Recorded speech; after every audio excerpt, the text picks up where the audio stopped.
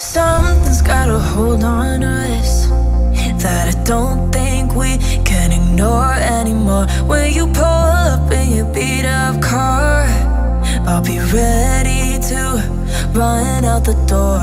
Cause I